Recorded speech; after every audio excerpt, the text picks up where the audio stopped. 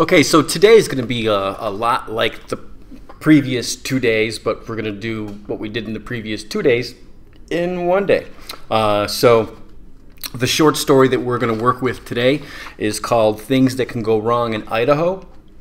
And when we're done reading this, uh, head to eDoctrina and uh, got some questions waiting for you there. Just like yes, all multiple choice, just like yesterday. Just go on fourth quarter.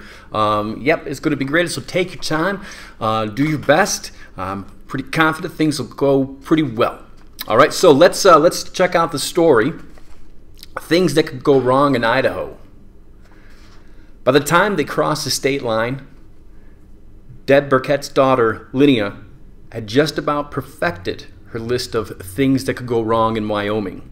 This was not to be confused with her list of things that could go wrong in North Dakota car keys fallen down dropped toilet, car died after crunching across gravel road, or things that could go wrong in Montana rogue bison attack, car flown off switchback, tent chomped in half by bear hunting for the Jolly Roger in Nathan's coat pocket. When they spent the afternoon in Yellowstone, Linnea's list suddenly got a lot longer. As eight year old Nathan clomped across the boardwalks, 10 year old Linnea hung back, staring at the electric green rimming the bubbling pools of the hot springs. Linnea, Deb said, holding up a camera, how about a smile? Linnea shook her head slowly.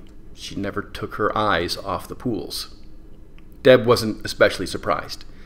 They'd covered five states in six days, and Deb already had an impressive photo series of Linnea not smiling, Linnea not smiling on the Minnesota prairie, Linnea not smiling in front of a giant cow statue, Linnea not smiling at Dairy Queen, and so on. Privately, Deb was beginning to wonder if this trip had been such a good idea. This was not a good thing to wonder when they had four days and three states left and only one driver so she set it aside. Uh, that's a no, she said quickly.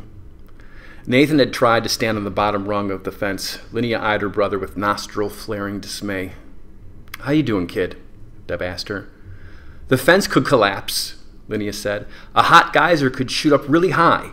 The boards under our feet could break, and then our shoes would melt, and we would die. Well, aren't you cheery today? Deb said. Linnea pressed chapped lips together, stared at her with and stared at her with raised eyebrows. Deb got the distinct feeling her daughter thought she was hopelessly irresponsible.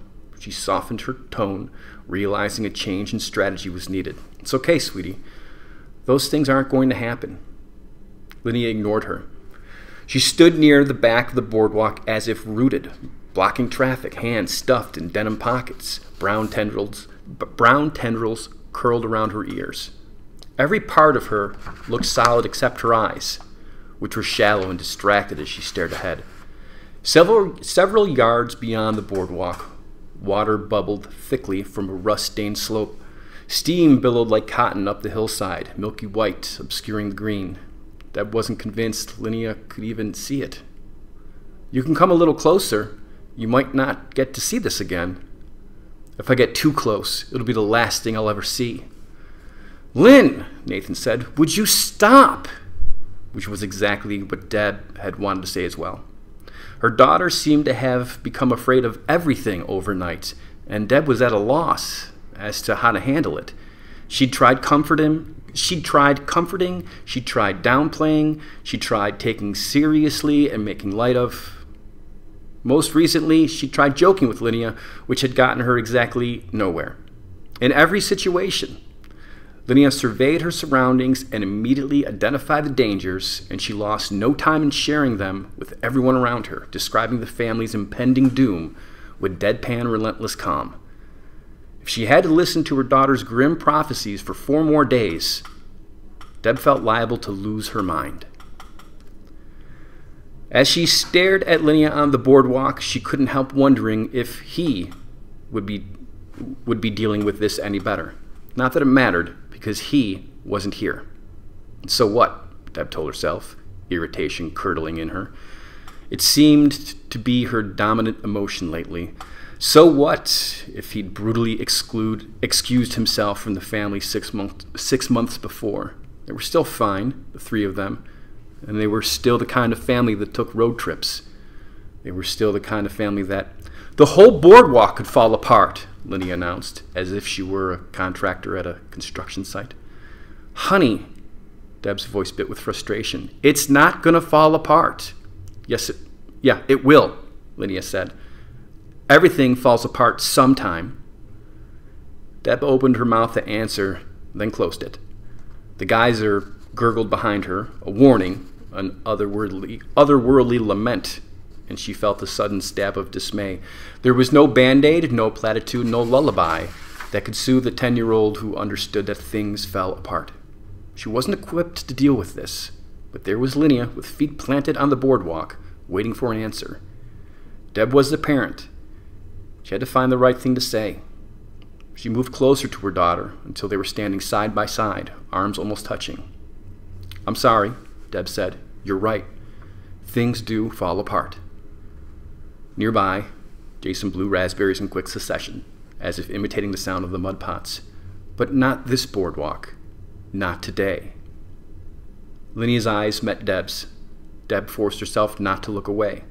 There could be no making light of this, no hint of sarcasm or humor in her face.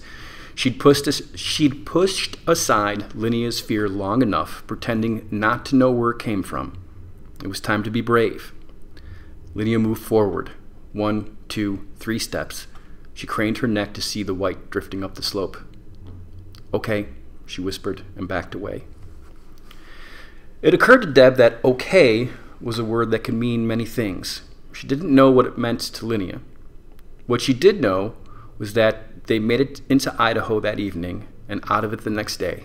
And if Linnea made a list of things that could go wrong in Idaho, Deb never heard about it.